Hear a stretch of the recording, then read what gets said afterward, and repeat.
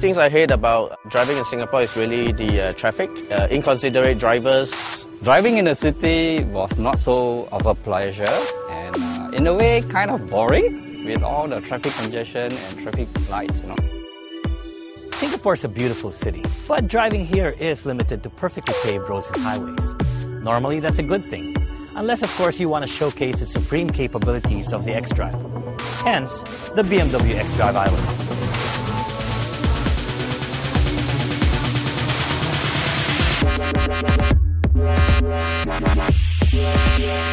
It's going to be amazing because we're going to be in all sorts of terrain and conditions that we're not normally going to be able to uh, drive on every day in Singapore.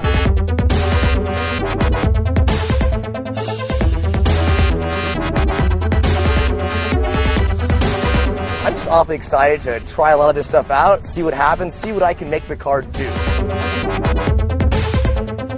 If I have a BMW X Series, I would challenge it off-road, maybe sandy beaches, and enjoy the ride. If everybody's ready, let's go and have some driving fun.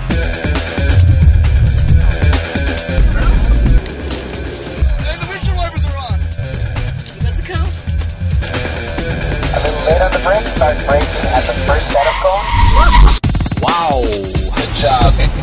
I think it was great. The event is great. We have a lot of outdoor activities and I was actually surprised that there was a section that catered to the kids and the family. So I enjoyed myself on the track and my kids were having fun with the outdoor activities. Go fast, stop fast, as well as corner fast, and you got to feel safe and happy.